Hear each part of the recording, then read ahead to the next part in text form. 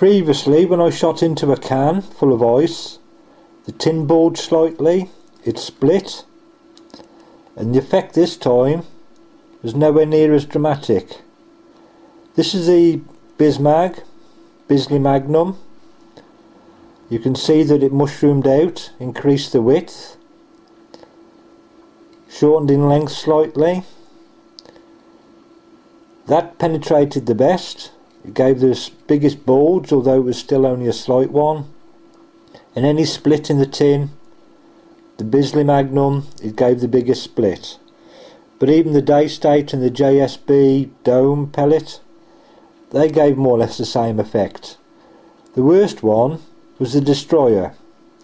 The advantage to look at it is the hollow point and I've seen and shown that this strips away to reveal a point.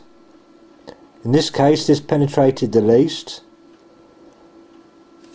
The hollow point outer ring it was stripped off has been seen before.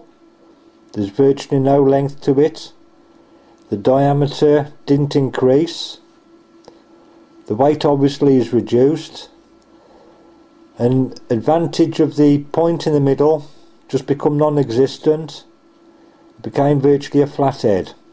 Penetrated the least. It appeared to give the least shock. So I'm disappointed with the results with this one.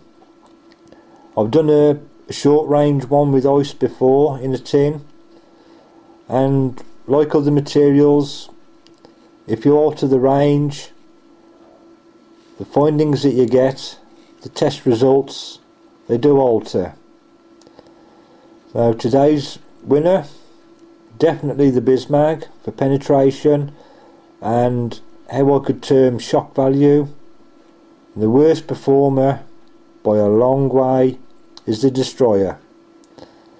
How it can be called a Destroyer I don't know. It just simply doesn't live up to its name